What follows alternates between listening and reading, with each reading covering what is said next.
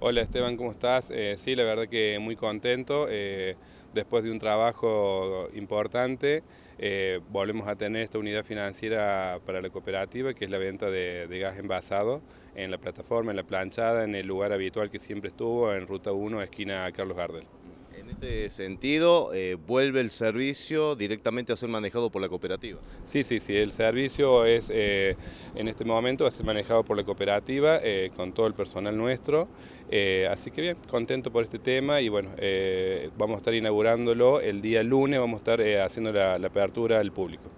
A partir entonces del próximo lunes comienza la actividad y la venta de gas aquí en la zona. Así es, así es Esteban, la verdad que, muy contento con todo esto, eh, volver a tener eh, este servicio y que lo preste nuevamente la cooperativa como, como iniciaron en aquellos momentos ese consejo que tuvo la idea de, brindar este servicio, así que bueno, a partir del lunes este servicio ya va a estar a disposición de nuestros socios y clientes de la cooperativa.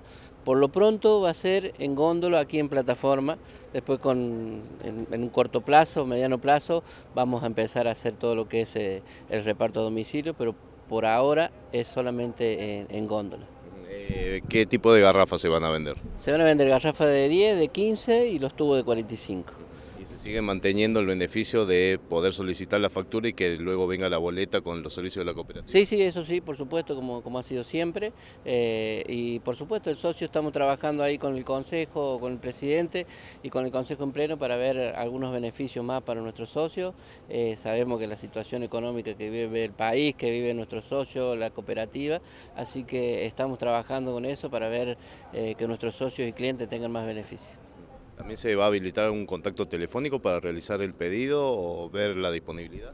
Las líneas telefónicas son las que siempre estuvieron a nombre de la cooperativa, son las mismas. Va a estar, eh, vamos a estar agregando un, un, teléfono celular para que lo puedan hacer también vía WhatsApp. Y todo comienza a partir del lunes. Todo a partir del lunes, así que bueno, los esperamos acá en la, en la plataforma y esperemos que esto salga como lo esperamos.